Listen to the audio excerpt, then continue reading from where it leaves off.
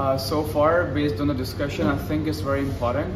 Assalamualaikum, myself Aman Sajid. Uh, first of all, uh, मैंने जो है वीडियोस देखी थी काफ़ी ज़्यादा cycle Motors dot P K की about PPF.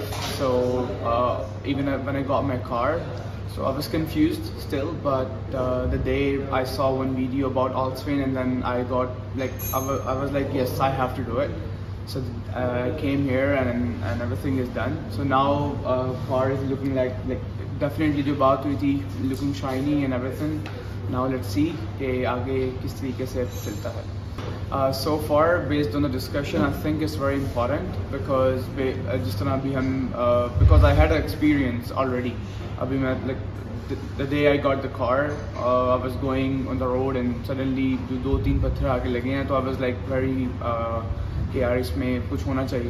तो बस ये है कि मेरे ख्याल से इट्स इंपॉर्टेंट सो so, बाकी अब जो चीज़ें जो क्लेम किया है अब अभी कंफर्म तो नहीं है बट डेफिनेटली लेट्स सी कि किस तरीके से आगे चलता है।